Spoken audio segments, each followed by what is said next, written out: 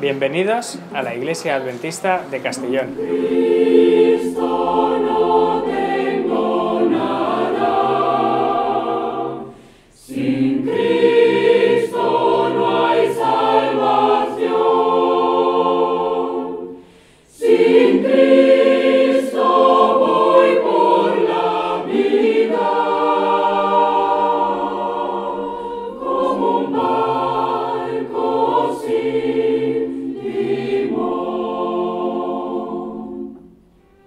Vamos a contar pues, un poco la historia y cómo eh, empezó la Iglesia Adventista aquí en Castellón. Hace tres años hemos celebrado el centenario de la primera vez que hubo eh, adventismo dentro de la provincia de Castellón. Eso fue sobre los años 1900, entre el 1907 y 1912 estuvo una familia por allí eh, durante unos años hasta que por circunstancias familiares tuvieron que emigrar y salir de la, de la zona.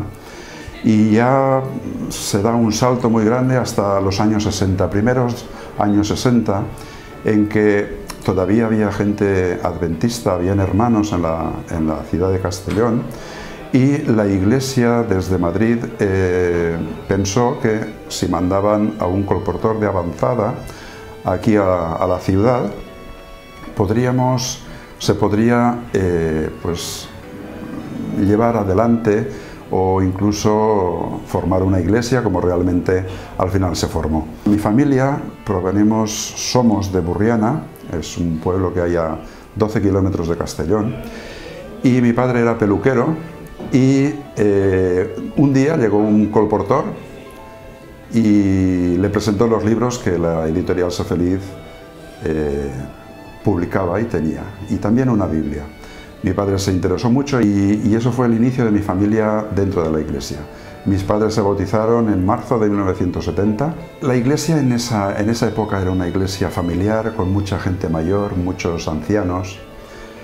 Eh, por aquí venían los estudiantes de Valencia, de, del seminario.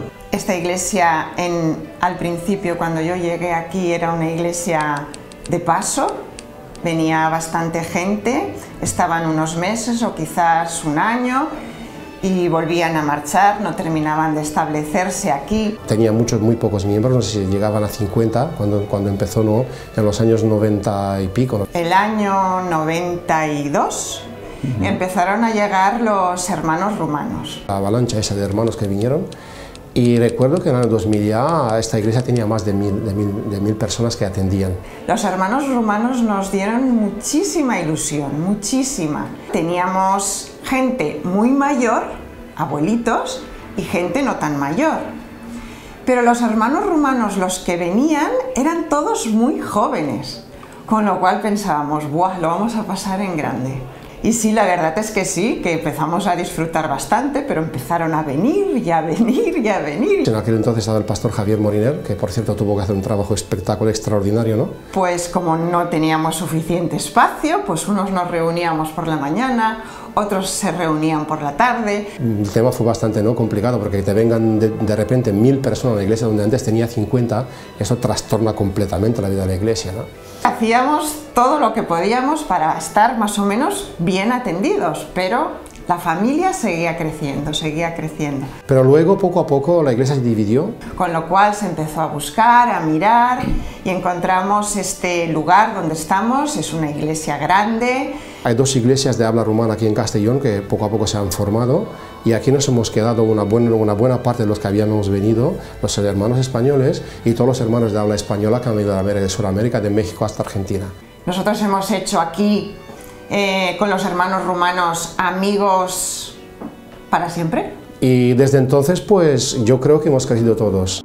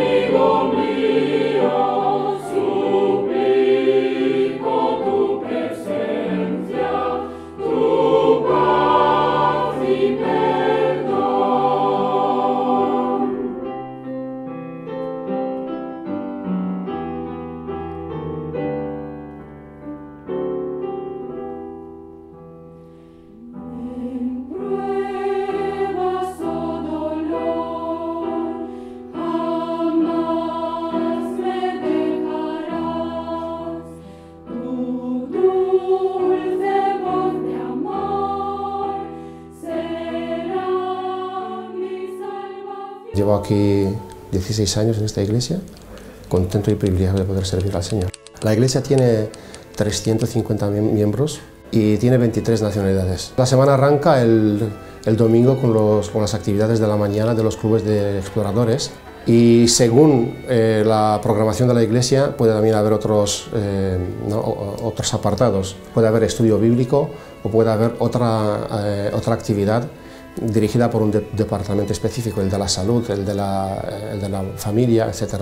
Los martes tenemos el, eh, el grupo de reunión de, de, oración del martes. Nosotros queremos fomentar lo que es el estudio de la Biblia, pero no como información, sino eh, estudio la Biblia en cuanto a vivencias personales con Cristo. Los jueves tenemos un grupo de unos 35 jóvenes donde consideramos que la tarea que estamos desarrollando últimamente es muy importante, ya que es por donde atendemos a las personas que no son de nuestra religión. He conocido la, la, la, iglesia por los amigos. Decir también que estamos implicados en varias actividades los domingos con ellos, salir para poder hacer grupo, para hacer piña, ¿no? que eso también es importante.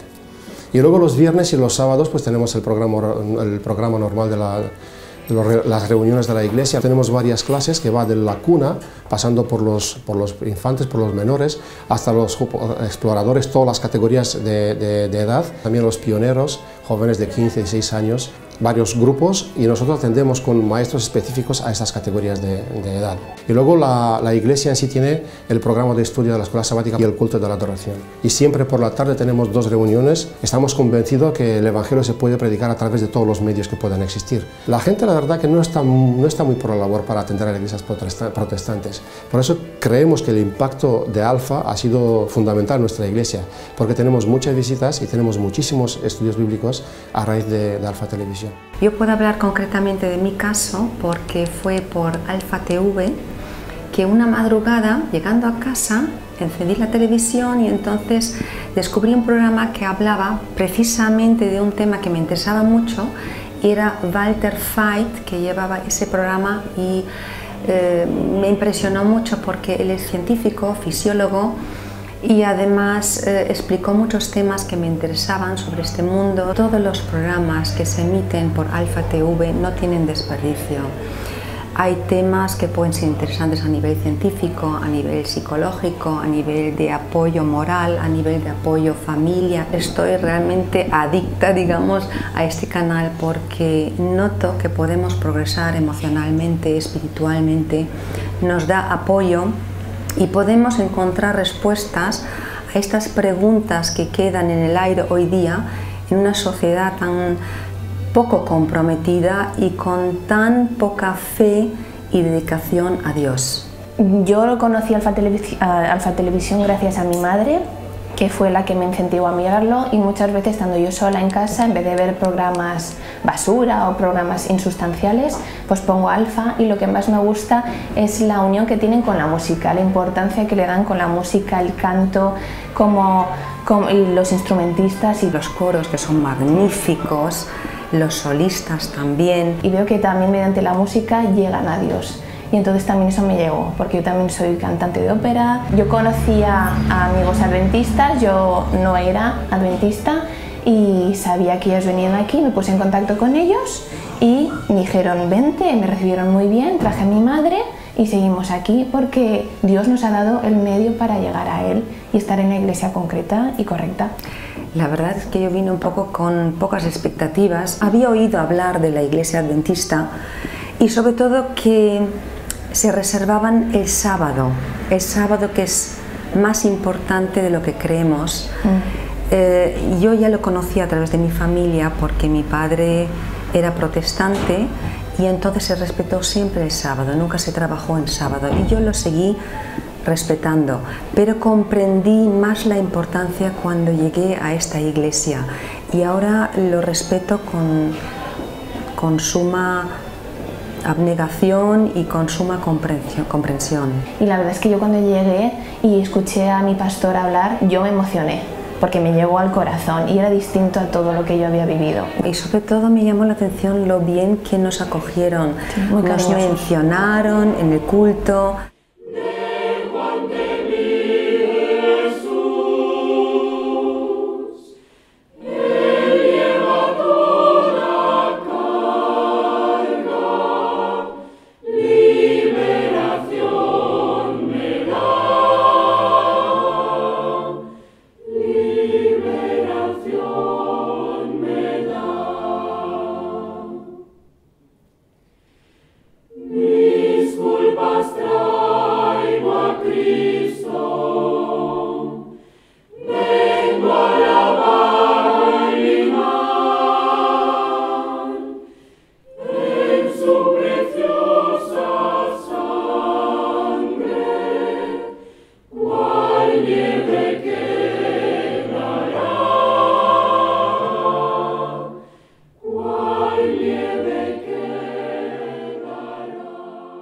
Empecé a interesarme por las cosas del Señor, noté que tenía una, una sed, un hambre del Señor, eh, pensaba cómo yo podía llegar al Señor. Pues Alfa Televisión me dio este camino, estás en casa, estás con el mando, pasando canales y de repente flash, ves cosas pues, que valen la pena. Empiezas a conocerlo directamente por la televisión. Te fijas un poquito y te vas fijando más. Vas viendo, te va gustando entonces, pues claro, para mí los otros canales eh, hay cosas pues que como que no, que no te llenan, que no te ayudan. Empiezas a leer la Biblia, empiezas a conocer cosas de, Dios, del Señor, de la gente que está alrededor del Señor. Y de repente pues tú te ves en la iglesia, en la casa de tu Padre, en la casa del Señor. Ese primer día para mí fue un éxtasis, decir, Dios mío, estoy aquí. Como yo, por un lado, estaba contento y muy feliz, pero por otro decía, pero ¿cómo cambió mi vida? Y no es cómo cambia mi vida, cómo está cambiando mi vida día a día desde que estoy con el Señor. Soy de República Dominicana y ahora estoy aquí como miembro de la Iglesia de Castellón. Hace mucho tiempo que, que estoy aquí en España, del 2006, y los principios fueron muy duros, muy complicados para mí porque estaba sola y a raíz de todo lo que había vivido en mi niñez y en mi infancia y, y al principio de mi vida pues que recaí en una enfermedad es muy poco conocida y por lo, por lo tanto no muy comprendida, que es fibromialgia. Consiste en mucho dolor, en todo dolor de cuerpo, en mucha depresión y, estaba muy mal. En realidad muchas veces lo que pensaba era no querer vivir porque estaba aquí sola y llegó un momento que ya no me podía mover, estaba en la cama y tengo una niña pequeña y en ese entonces era muy pequeñita y no podía ni siquiera llevarla al cole y nada, y por eso estaba, pues cada vez estaba más depresiva y más mal. Em, a raíz de que un día escuchando la radio desde la cama, escuché a Radio Adventista y, y empecé a escucharlo cada día, cada día. Recuerdo que siempre podía estar muy llorando y a medida que escuchaba los mensajes que daban en la radio, pues me tranquilizaba Em, y aunque ya conocía la iglesia de antes, pero no, no la había visitado, sabía de, su existencia, hasta que un día me decidí, digo, Señor, ayúdame, yo voy a, llamar para que me den la dirección de la iglesia, así poder asistir con mi niña. Cuando llamé me atendió un chico muy complaciente y me, me pasó al pastor, que justo era el director de la radio y pastor de esta iglesia.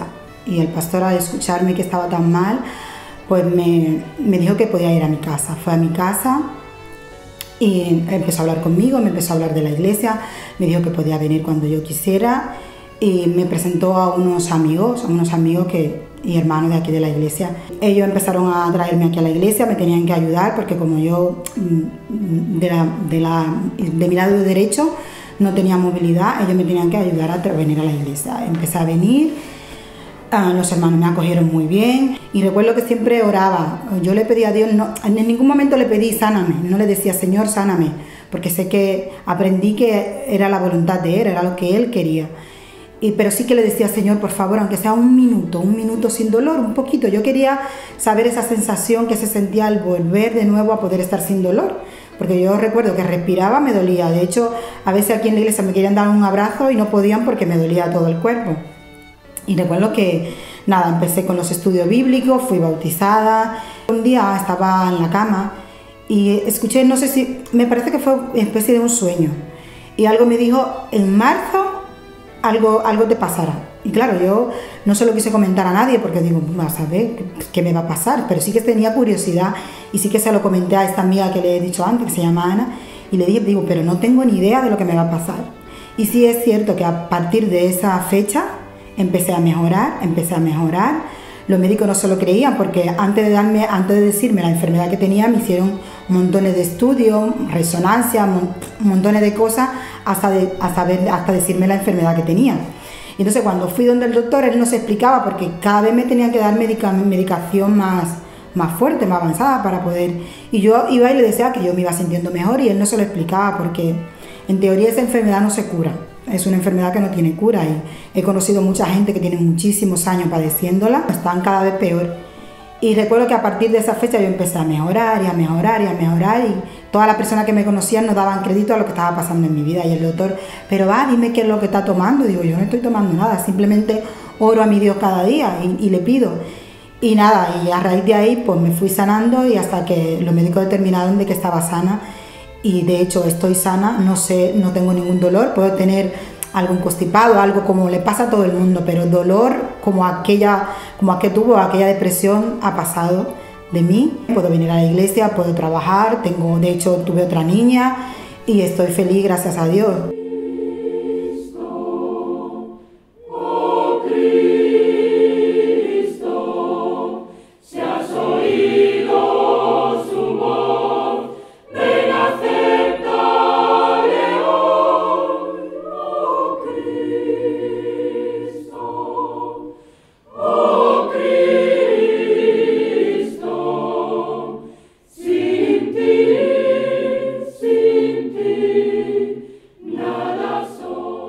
Aparte de Alfa Televisión, nosotros tenemos eh, un enfoque misionero un poco particular. Por ejemplo, cuando nosotros eh, decidimos de vez en cuando hacer una semana de oración, es por la mañana, el desayuno. Antes de que la gente vaya a trabajar, pues nos reunimos por la mañana, leemos un texto bíblico, hacemos un devocional, tomamos el desayuno y nos vamos a trabajar. Todos tenemos los mismos sentimientos, los mismos principios, la misma fe y sobre todo la misma esperanza. Nuestro agradecimiento a Dios por habernos conducido y habernos conducido a esta iglesia para retomar un camino que estábamos un poco perdidos, diría yo. Que Él sabe por qué de las cosas y Él sabe hasta cuándo las cosas. Yo quiero agradecer mucho a toda la gente que desde Alfa Televisión, para que día a día gente como yo o gente que no puede salir a la calle, que está enferma, la palabra, que es lo importante en nosotros, que le llegue a toda esa gente. Solo hecho de, de vivir cada día, de levantarnos, de de poder respirar, de poder ver el día a día, ya eso para darle gracias a Dios. Porque hay gente enferma, inválida, con problemas psiquiátricos que no pueden salir a la, calle, pero la palabra llega, está haciendo un bien muy importante para mucha gente. Y es importante no perderse. Podemos desviarnos, pero no perdernos. Debemos de pedirle a Dios siempre, orar a Él, pero dejarlo todo en su mano, porque Él ha muerto por nosotros nos ama y nos cuida cada día. Te esperamos todos los sábados a las 10 de la mañana en la calle Ribelles Comins 63.